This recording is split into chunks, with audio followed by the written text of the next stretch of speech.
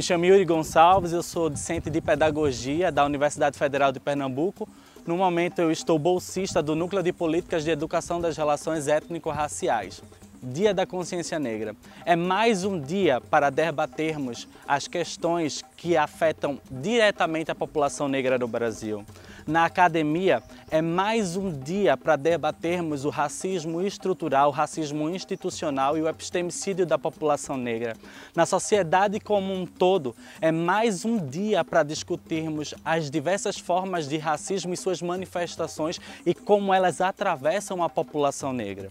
Dia da Consciência Negra é mais um dia para rememorarmos e para celebrarmos as contribuições dos povos africanos e afrodiaspóricos para a formação do povo brasileiro.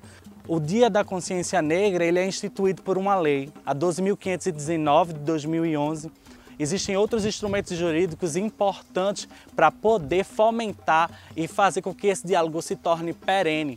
E é essa a necessidade, discutir mais sobre relações étnico-raciais, descobrir sobre igualdade, mas discutir sobre equidade, para que assim a gente não transforme as diferenças em desigualdades.